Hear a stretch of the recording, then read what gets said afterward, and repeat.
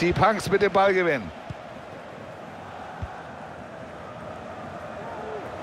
Schöner Vorstoß, das könnte durchaus gefährlich werden. Aber dann Foul, Freistoß und das ist eine gute Gelegenheit.